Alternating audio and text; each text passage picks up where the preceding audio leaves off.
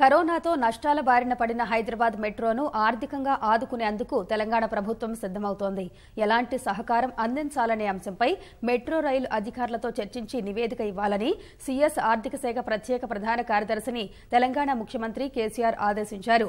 ప్రస్తుత నష్టాల నుంచి గట్టెక్కేందుకు తక్షణ సాయంతో పాటు దీర్ఘకాలిక చర్యలు చేపట్టే యోచనలో ప్రభుత్వం ఉంది.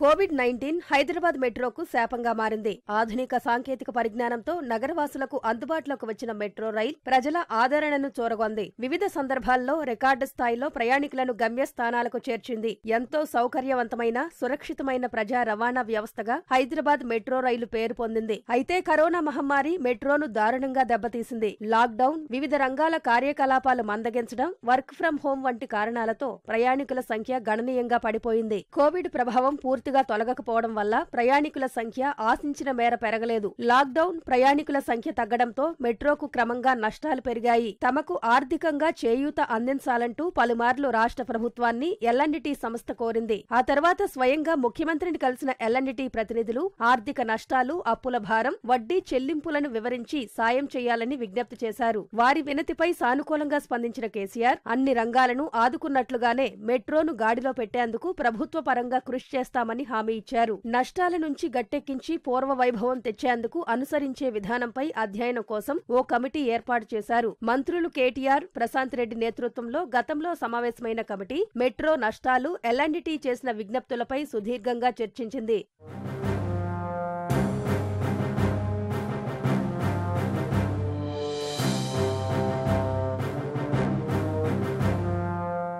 ప్రభుత్వం అండగా నిలవకపోతే హైదరాబాద్ మెట్రో నుంచి తప్పుకునేందుకు సిద్దమంటూ ఎల్ఎన్డిటి సంస్థ ప్రభుత్వం దృష్టికి తీసుకెళ్ళింది ఇటీవలే జరిగిన మంత్రివర్గ సమావేశంలో మెట్రో రైలుపై చర్చ జరగ్గా సాధ్యమైనంత మేర ప్రభుత్వ పరంగా సాయం చేయాలని సూత్రప్రాయంగా నిర్ణయించారు. మెట్రో నిర్వహణ నుంచి ఎల్ఎన్డిటి తప్పుకునే పరిస్థితి రాకుండా చూడాలని ఏ ఆటంకం లేకుండా కార్యకలాపాలు జరిగేలా చూడాలని మంత్రులు అధికారులను ముఖ్యమంత్రి కేసీఆర్ ఆదేశించారు. తక్షణ దీర్ఘకాలిక చర్యలు ఏం చేపట్టాలనే అంశంపై కసరత్తు చేసి వీలైనంత త్వరగా ప్రభుత్వం దృష్టికి తేవాలని సీఎస్ సోమేష్ కుమార్ ఆర్థిక శాఖ ప్రత్యేక ప్రధాన కార్యదర్శి రామకృష్ణారావును ఆదేశించారు. మెట్రో రైల్ ఎండీ ఎన్వీఎస్ రెడ్డితో చర్చించి తగిన సూచనలివ్వాలని స్పష్టం చేశారు. కరోనా వల్ల సర్కారుకు ఆదాయం తగ్గినందున ఏ మేరకు ఆర్థిక సాయం చేయగలమనే అంశంపై ఆలోచన చేస్తోంది. ఒకేసారి కాకుండా దశల వారీగా వెయ్యి కోట్ల వరకు సాఫ్ట్ లోన్ ఇచ్చే అవకాశం ఉందని లీజ్ మార్టుగేజ్ లాంటి నిబంధనల మార్పుపై అన్ని రకాలుగా ఆలోచించాల్సి ఉంటుందని అధికారులు చెబుతున్నారు.